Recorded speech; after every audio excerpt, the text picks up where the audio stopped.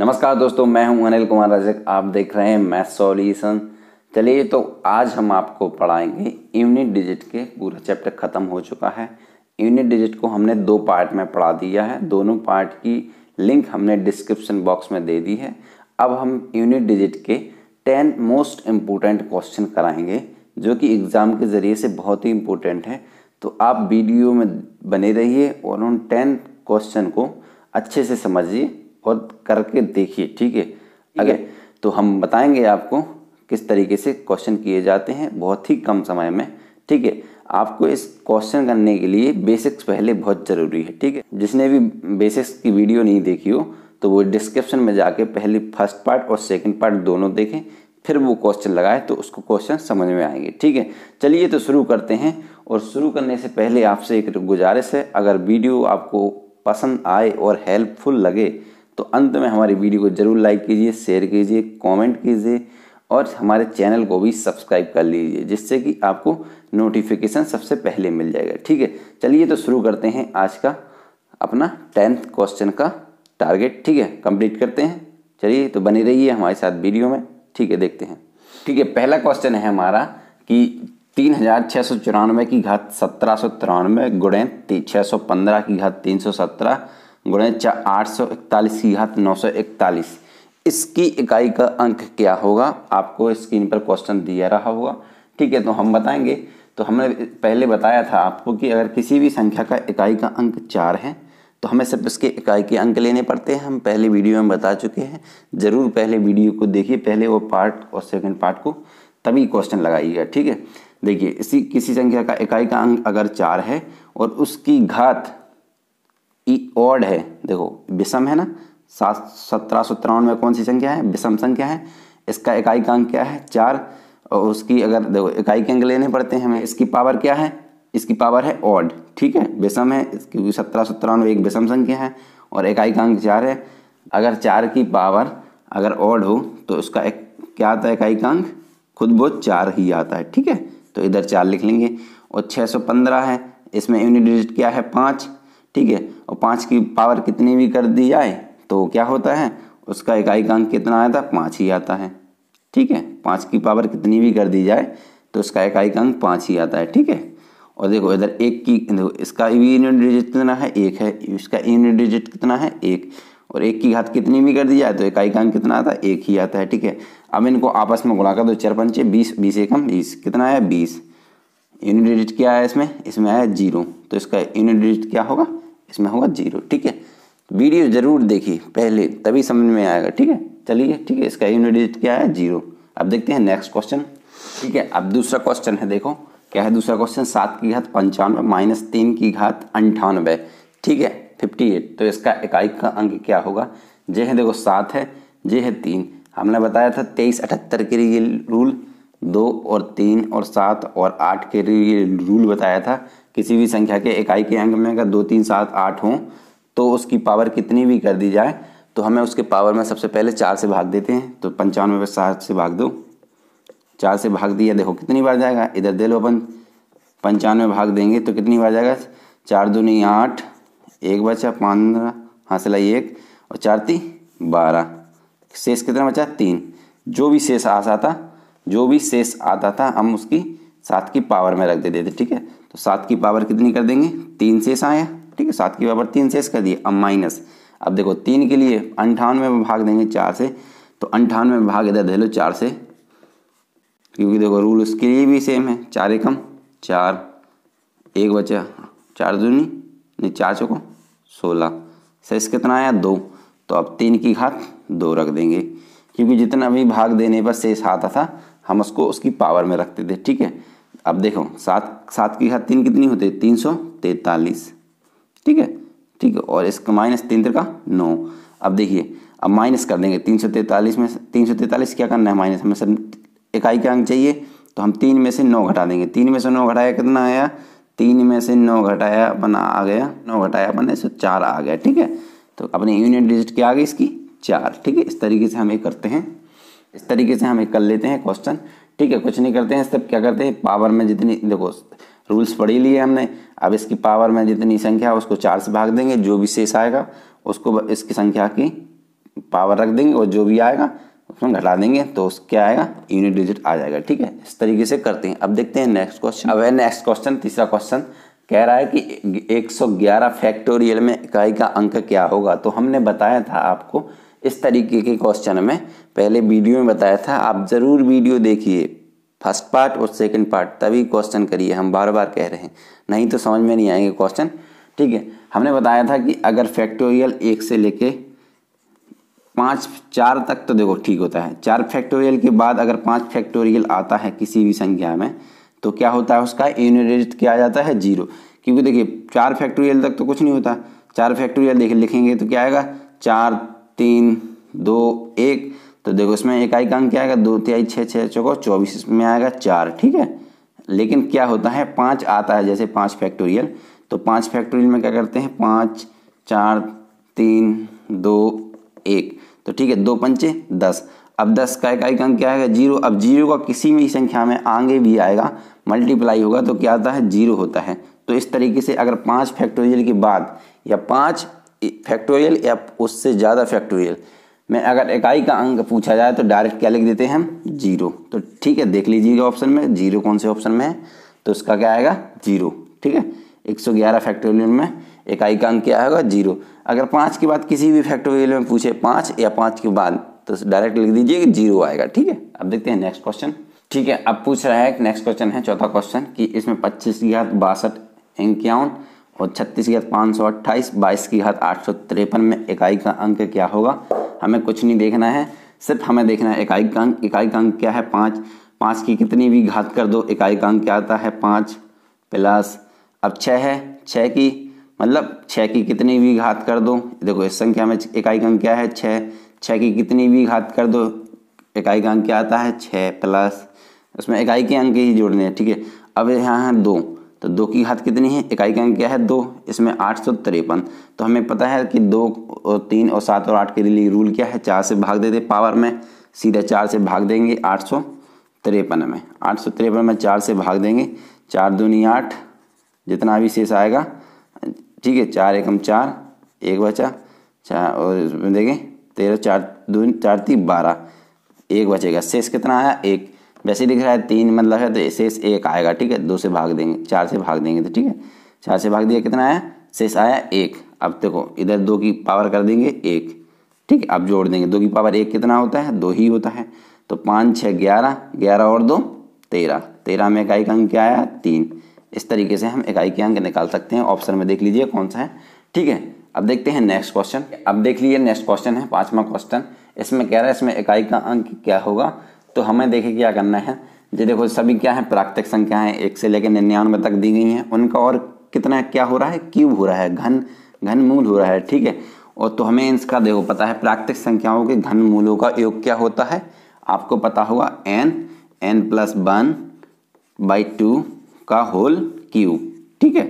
क्या होता है? यह है प्रथम प्राकृतिक संख्याओं के घनों का मूल, घनों का योग, ठीक है? प्रथम फ़र्स्ट मतलब फ़र्स्ट नेचुरल संख्याओं के कितने भी, उनके, ये किसका फॉर्मूला है? जब प्रथम प्राकृतिक संख्याओं के घनों का योग है। इसका फॉर्मूला होता है ये है।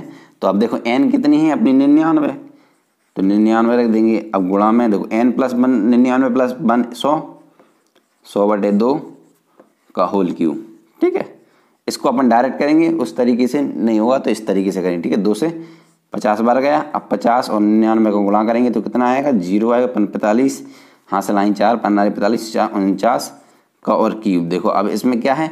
इसमें एक का अंक है ज़ीरो। अब ज़ीरो की घात कितनी भी कर दो तो एक का अंक क्या आएगा? इसमें ज़ीरो ही आएगा। ठीक है, इस तरीके से हम इसको कर सकते हैं। ठीक है, जिसमें फॉर्मूला लगे तो उसमें फॉर्मूला लगाना है। जिसमें ट्रिक लगे तो उसमें ट्रिक लगाना। ठीक है, अब देखते हैं नेक्स्ट क्वेश्चन ठीक है, अब नेक्स्ट क्वेश्चन है, छठवा क्वेश्चन है, सात की घात इकहत्तर गुणित छः की घात तिरसठ। और तीन की घात पैंसठ है, इसका इकाई का अंक क्या होगा? तो देखिए क्या होता है। हमने रूल्स पता है, पता ही है, सात का क्या होता है? देखो इकाई का अंक सात है, सात की पावर कितनी है? इकहत्तर। अब देखो, इसमें भाग देंगे चार से, ठीक है?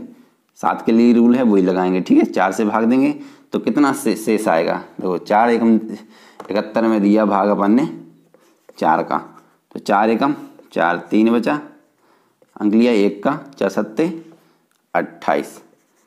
शेष कितना बचा? इसमें तीन बचा शेष, ठीक है? तो क्या करेंगे हम? सात की पावर तीन रखेंगे इधर। अब गुणा छः की पावर तिरसठ। छः की पावर कितनी भी हो, उसका इकाई का अंक क्या होता है? छः रूल्स पता है हम लिए। अब देखो, तीन है। अब तीन, देखो, तीन के लिए रूल अलग है। क्या है? चार से भाग देंगे। पैंसठ में चार से भाग दिया। कितना आया? चार से, देखो, चार से, चार एकम चार। दो बचे पाँच, चार छिंग चौबीस। शेष कितना बचा? एक। चौंसठ बार मतलब सोलह बार जाएगा, सोलह चौको चौंसठ। शेष एक बजेगा तो तीन की घात क्या करेंगे? एक। अब देखिए, अब इस सात की घात तीन कितनी होती है? तीन सौ तैतालीस। तीन सौ तैतालीस और छः और तीन, ठीक है? अब देखो, इसमें एक आई का अंक ले लेंगे, तीन अठारह। वो अठारह अठारह आया तो अठारह का भी आई का अंक लेंगे, अठारह, देखो तीछिंग अठारह अठारह ती चौवन। तो चौवन में क्या है? इकाई का अंक चार। ठीक है? तो इस तरीके से इसका इकाई का अंक निकाल सकते हैं, ठीक है? अब देखते हैं नेक्स्ट क्वेश्चन आपको रूल्स पता होने चाहिए, तभी क्वेश्चन लगाइए, नहीं तो बिल्कुल समझ में नहीं आएगा। ठीक है, मैंने पहले ही आपको बता दिया कि डिस्क्रिप्शन बॉक्स में लिंक दी है।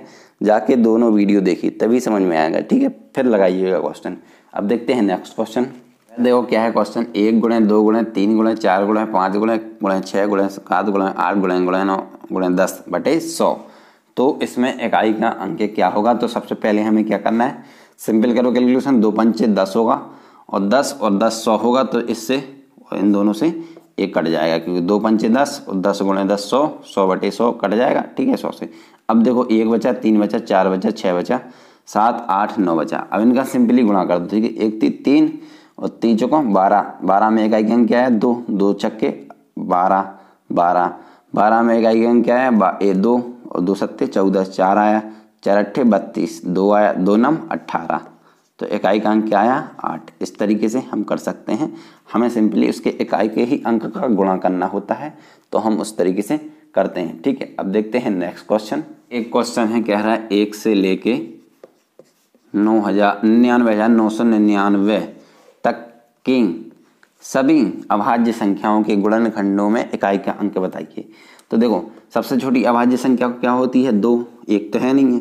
तो दो से लेकर नौ सौ नौ निन्यानवे हज़ार नौ सौ निन्यानवे तक की अभाज्य संख्याओं के गुणन फंड होगा। जैसे दो से, फिर दूसरी तीन, पाँच, सात, ग्यारह, डॉट डॉट, कितने तक? नौ हज़ार निन्यानवे हज़ार नौ सौ निन्यानवे तक। में, उसमें इकाई का अंक क्या होगा? इसके गुणन फंड में। तो देखो, सबसे पहले हमें क्या देखना है? इसमें दो है और पाँच है।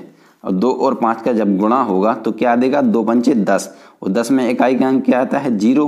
अब ज़ीरो आता है, ज़ीरो किसी भी संख्या में गुणा करेंगे तो क्या आएगा? ज़ीरो ही आएगा। यूनिट डिजिट हमारी क्या आएगी? ज़ीरो। तो हमें आगे करने की ज़रूरत ही नहीं। सीधा देख लो कि दो और पाँच गुणनफंड में आ रहे हैं तो इनका मल्टीप्लिकेशन हमें हमेशा ज़ीरो देता है। अब ज़ीरो का किसी में भी संख्या में गुणा करेंगे तो हमारा क्या आएगा? ज़ीरो ही आएगी। Unit digit. ठीक है, अब देखते हैं नेक्स्ट क्वेश्चन। ठीक है, अब वो कह रहा है कि देखिए, इस एक प्रकार का क्वेश्चन है कि दो की पावर तीन तीन की पावर चार का गुणा, तीन की पावर चार चार की पावर पाँच के में गुणा, चार की पावर पाँच पाँच की पावर में छः गुणा, पाँच की पावर छः की पावर में सात। ठीक है, इस तरीके का है, ठीक है? तो इसमें वो पूछ रहा है कि इसके गुणनफल में इकाई का अंक क्या होगा? तो देखिए, हमें सबसे पहले क्या देखना है? अगर इस तरीके की संख्या दी जाए तो सबसे पहले तो हमें ऑब्ज़र्व करना है कि कहीं इसमें दो और पाँच हो तो उसे देखो। क्योंकि दो और पाँच मिल जाएगा तो हमारा क्वेश्चन वहीं हो जाता है, क्योंकि हमें फिर बाकी कुछ नहीं करना पड़ता है। क्योंकि इनकी संख्या अगर इकाई का अंक हमें दो दे दें और पाँच दे दें तो दो गुणे पाँच दस हो जाता है और दस का इकाई का अंक ज़ीरो होता है और ज़ीरो किसी भी संख्या में गुणा करेगा तो ज़ीरो ही आएगा। ठीक है तो अब देखते हैं। दो की पावर तीन है, तीन की पावर चार है। अब देखो, दो की पावर तीन तीन की पावर चार कितनी होती है? तीन की पावर चार होती है इक्यासी। ठीक है? ठीक है। दो की पावर तीन तीन की पावर चार। देखो, दो की पावर, पहले बताइए तीन की पावर चार कितनी होती है? इक्यासी। तो दो की पावर इक्यासी में लिख लेंगे। अब देखिए, दो की पावर इक्यासी है तो दो का रूल हमें पता है, चार से भाग देते।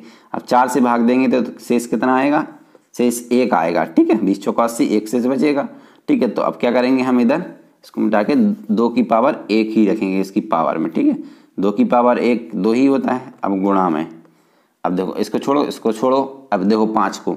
अब पाँच की पावर कितनी भी कर दी जाए, देखो पाँच की पावर कित, देखो छः की पावर सात, हमें सिर्फ़ पाँच देखना है, इसकी पावर कितनी भी हो, हमें कोई मतलब नहीं, इसकी पावर कितनी भी हो तो हमें इसका इकाई का अंक क्या आता है, हमेशा पाँच ही आता है, ठीक है? पाँच की पावर कितनी भी दी हो तो सीधे हमें उसका एक का अंक लिख देना है, पाँच की भी पचम पच्चीस पच्चीस पंच एक सौ पच्चीस, कितनी भी कर दे जाओ पाँच से ही आएगा, ठीक है? अब देखो, दो की पावर एक दो ही होगा, दो पंचे दस। कितना देगा? दस। अब ज़ीरो आएगा, इसकी क्या, इसकी यूनिट डिजिट क्या है? ज़ीरो। अब ज़ीरो का किसी भी संख्या में गुणा करेंगे, तीन की पावर कितनी भी आएगी इकाई का यूनिट कितनी भी आएगी तो ज़ीरो का गुणा होगा तो ज़ीरो आएगा, फिर इसमें गुणा करेंगे तो तब भी ज़ीरो आएगा, इसमें गुणा करेंगे तो तब भी ज़ीरो आएगा। इस तरीके से इसका इकाई का क्या है? ज़ीरो। तो हमें कुछ नहीं देखना होता है। दो और पाँच को ऑब्ज़र्व कर लो कि है इस संख्या में। और डायरेक्ट दो पाँच का अगर गुणनफल ज़ीरो आ रहा हो तो बस सीधा यूनिट डिजिट क्या लग दो ज़ीरो ठीक है? अब देखते हैं नेक्स्ट क्वेश्चन ठीक है? अब देखिए एक प्रकार क्वेश्चन है कि एक फैक्टोरियल की पावर एक फैक्टोरियल प्लस दो फैक्टोरियल की पावर दो फैक्टोरियल प्लस तीन फैक्टोरियल की पावर तीन फैक्टोरियल प्लस हंड्रेड फैक्टोरियल की पावर हंड्रेड फैक्टोरियल इस प्रकार का क्वेश्चन है कि इस प्रकार के व्यंजक में इकाई का अंक क्या होगा? तो हमें क्या करना है? देखिए सबसे पहले आप देखिए, एक फैक्टोरियल है, और इसकी घात कितनी है? एक फैक्टोरियल ठीक है? हमें जे सॉल्व करना है। इसको सॉल्व किया हमने। एक फैक्टोरियल कितना होता? है एक ही होता। और एक फैक्टोरियल क्या होता? है एक। एक की पावर एक। इसमें यूनिट डिजिट क्या आएगा? एक आएगा। ठीक है? अब देखो, दो फैक्टोरियल इसमें पावर कितनी है? दो फैक्टोरियल तो दो फैक्टोरियल कितना होता? है दो गुणे एक। और इसकी पावर कितनी है? दो गुणा एक मतलब दो फैक्टोरियल की पावर है दो। ठीक है? दो गुणा एक ही तो होगा तो दो होगा, ठीक है? तो दो की पावर दो। इसमें यूनिट डिजिट क्या आएगा? दो दूनी चार। ठीक है? अब देखिए तीन फैक्टोरियल तीन फैक्टोरियल की पावर तीन फैक्टोरियल ठीक है? तो अब देखो, दो तीन फैक्टोरियल कितना तीन गुणे दो गुणे एक। ठीक है? इसकी पावर क्या हो जाएगी? तीन दूनी छः सेम फैक्टोरियल है ना? ठीक है? तो छः की पावर छः यूनिट डिजिट क्या आएगा? छः छः की पावर कितनी भी कर दी जाओ यूनिट डिजिट कितनी आती है? छः अब देखो, चार फैक्टोरियल की पावर है? चार फैक्टोरियल ठीक है? अब चार फैक्टोरियल कितना होता है? चार गुणे तीन। चार गुणे तीन गुणे दो गुणे एक। ठीक है? समझना और कुछ नहीं है। ठीक है? समझ जाओगे तो पेपर में और आसानी से कर लोगे। जल्दी देखते ही समझ जाओगे। ठीक है? ये मैं बता रहा हूँ समझाने के लिए। ठीक है? इसकी पावर कितनी? चार तीन बारह बारह दूनी, चौबीस। क्योंकि देखो, वही चार ही फैक्टोरियल है, चार फैक्टोरियल है ना तो इसको गुणा करके डायरेक्ट लिख दिया ऊपर, ठीक है? अब चार तीन बारह बारह दूनी, चौबीस। अब चौबीस की पावर है, चौबीस। लेकिन हमें क्या देखना है? सिर्फ़ इकाई का अंक देखना है। तो चार की पावर क्या करेंगे? चौबीस। अब देखो, चार की पावर अगर सम होती तो क्या होता है इकाई का अंक छः हमने पहले पढ़ चुके हैं, ठीक है? चार की पावर अगर सम है उसका इकाई का अंक चार है, उसकी पावर सम है, कोई भी संख्या तो इसका अंक ही छः आता है, ठीक है? अब देखिए पाँच फैक्टोरियल की पावर पाँच फैक्टोरियल क्योंकि आगे पाँच फैक्टोरियल भी होगा, चार फैक्टोरियल भी होगा छः फैक्टोरियल सौ फैक्टोरियल तक है, उसकी पावर सौ फैक्टोरियल ठीक है? अब पाँच फैक्टोरियल की पावर पाँच फैक्टोरियल क्या है? पाँच गुणे चार गुणे तीन गुणे दो गुणे एक, ठीक है? इसकी पावर कितनी कर दो? पंचों को बीस बीस, तीस, साठ सात दूनी, एक सौ बीस। ठीक है? अब देखिए, इसकी पावर एक सौ बीस होगी लेकिन अब देखो, इधर देखो, पाँच दूनी, दस। दस हो रहा, इसका एक दस हो रहा, और दस ती, तीस तीस चौको, एक सौ बीस। एक सौ बीस में क्या आ रहा है इकाई का अंक? ज़ीरो। या देखिए, पाँच और गुणे दो का जब गुणा हो रहा है तो पाँच दूनी दस दे रहा है। दस में इकाई का अंक क्या है? ज़ीरो। अब ज़ीरो को गुणा तीन में करेंगे, तब भी ज़ीरो आएगा, और चार में करेंगे, तब भी ज़ीरो आएगा। तो मतलब क्या होता है इधर? ज़ीरो की पावर क्या होती है? एक सौ बीस। तो ज़ीरो की पावर कुछ भी हो तो इकाई ज़ीरो क्या आएगा? ज़ीरो ही आएगा, ठीक है? अब देखिए छः फैक्टोरियल, की पावर छः फैक्टोरियल। अब हमने देख चुके हैं पहले कि अगर पाँच फैक्टोरियल हो या उसके बाद कब फैक्टोरियल हो, यानी छः फैक्टोरियल आ रहा है छः फैक्टोरियल में भी क्या होगा? इकाई का अंक क्या होगा? ज़ीरो। क्योंकि अब देखो इधर छः ही आ जाएगा ना। छः चार, पाँच, गुणे चार, गुणे तीन, गुणे दो। गुणे एक, ठीक है? तो दो पंचे दस होगा ना? और दस का गुणा इकाई का अंक ज़ीरो, और ज़ीरो में किसी में भी गुणा हो तो ज़ीरो ही आता है। तो इसका एक ज़ीरो की पावर कुछ भी धर दो सिक्स फैक्टोरियल तब भी ज़ीरो ही आएगा। और ये देखो, सौ हंड्रेड फैक्टोरियल तक है। तो हंड्रेड फैक्टोरियल तक सभी का इकाई का अंक क्या होगा? ज़ीरो होगा। क्या होगा? ज़ीरो। अब देखिए, इकाई के अंक, अब हमें इकाई का अंक पता करना है। तो सभी के इकाई के अंक जोड़ते हैं। पाँच फैक्टोरियल के बाद पाँच फैक्टोरियल से लेके सौ फैक्टोरियल तक के तो सभी के इकाई के अंक क्या आएँगे ज़ीरो। तो हमें सब जोड़ना क्या है? हमें सब जोड़ना है चार फैक्टोरियल तक के इकाई के अंक। एक जोड़ देंगे, चार जोड़ देंगे, एक, चार, पाँच होगा। पाँच छः ग्यारह ग्यारह और छः सत्रह। क्या आ गया? सत्रह। सत्रह में इकाई का अंक क्या है? सात। ठीक है? तो इस तरीके से हम इसका इकाई का अंक निकाल सकते हैं। हमें कुछ नहीं देखना है। डायरेक्ट समझ लो कि पाँच फैक्टोरियल के बाद जितनी भी संख्या आए और या पाँच फैक्टोरियल मतलब चार फैक्टोरियल के बाद जितनी भी संख्या हो का फैक्टोरियल होता है, उसमें इकाई का अंक क्या होता है? ज़ीरो होता है, ठीक है? चाहे उसकी पावर कितनी भी हो। तो हमें क्या करना है? सब चार तक के देखना था, जोड़ना है बस। चार तक जोड़ लिया इसका इकाई का अंक एक है, इसका चार है, इसका छः है, इसका छः छः छः बारह बारह, पाँच, सत्रह। सत्रह में इकाई का अंक क्या है? सात, ठीक है? इससे कोई मतलब नहीं होता है फिर, ठीक है? इस तरीके से हमारा ये मतलब दस क्वेश्चनों का टारगेट कंप्लीट हो गया और दस ही इंपॉर्टेंट क्वेश्चन है। ये देखिए एक क्वेश्चन उस बच्चे को समझ में आया होगा, जिसने पहला वीडियो देखा होगा, दूसरा वीडियो देखा होगा, ठीक है? उसके बेसिक्स मैंने फ़र्स्ट पार्ट में और सेकंड पार्ट में बताए हैं। तो ज़रूर प्लीज़ देखिए, नहीं तो आपको ये क्वेश्चन डाउटफुल लगेंगे और समझ में भी नहीं आए हों किसी को। अगर जिसको समझ में आ गया तो अच्छी बात है। और प्लीज़ जिसको भी वीडियो हेल्पफुल लगी है तो हमारी वीडियो को लाइक कर लीजिए और शेयर कीजिए कमेंट भी कीजिए, बताइए, ठीक है? और हमारे चैनल को भी सब्सक्राइब कर लीजिए। चलिए तो मिलते हैं अब नेक्स्ट वीडियो में। तब तक के लिए धन्यवाद।